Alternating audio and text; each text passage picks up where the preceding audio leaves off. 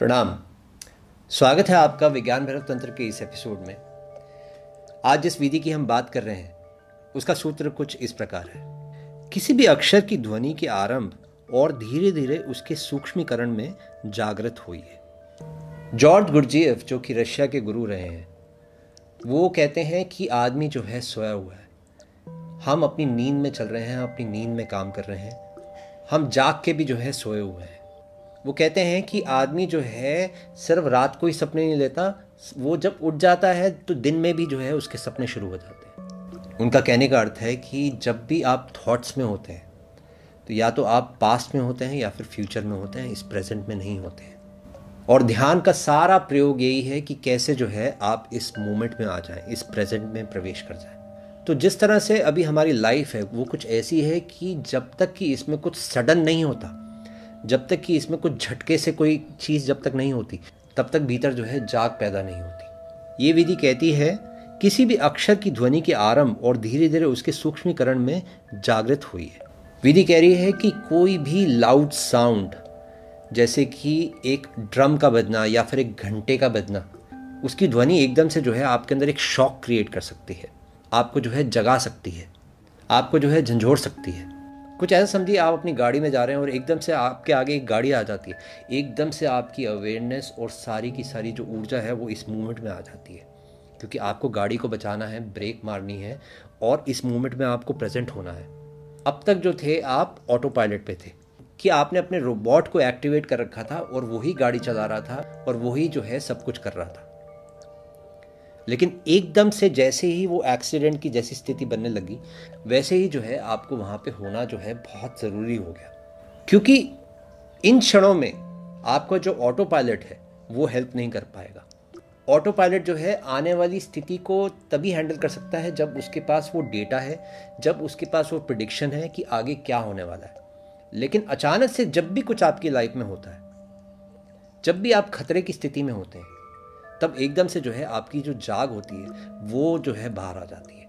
कि आप जो है अपनी नींद से बाहर आ जाते हैं। कि उसको जो है तोड़ने पे जो है मजबूर हो जाते हैं। ये विधि आपको उसी जागरण की याद दिलाती है। कि जैसे ही आपकी एक ऐसी स्थिति बन जाए, कि कोई भी ध्वनि जो कि एक शौक की तरह जो है आपके भीतर जो है प्रवेश कर जाए और आपको जो है जगा जाए। एग्ज़ाम्पल के तौर पर आप एक घंटे का प्रयोग कर सकते हैं इस विधि के लिए। उस घंटे को जैसे ही आप बजाएँ, एकदम से आप देखेंगे कि आपके भीतर जो है एक झंझनाहट जो है आपके भीतर होती है। ये विधि कहती है, उस झंझनाहट को जो है सुनो, उसको अपने भीतर प्रवेश करने दो। और जैसे जैसे जो वो जो ध्वनि है, वो एक शून्य अवस्था में प्रवेश कर रही है, वो ध्वनि जो है, वो ना कुछ होने जा रही है। तो विधि कहती है, जब साउंड शुरू हुए, जैसे ही उस घंटे की आवाज़ जो है आपने सुनी, उसको जो है फॉलो करना है। और उसको फॉलो करते करते जो है एक नो साउंड की अवस्था के अंदर जो है प्रवेश करना है। ये विधि आपको जो है अभी और यहीं इसी क्षण में जो है होने के लिए कहती है।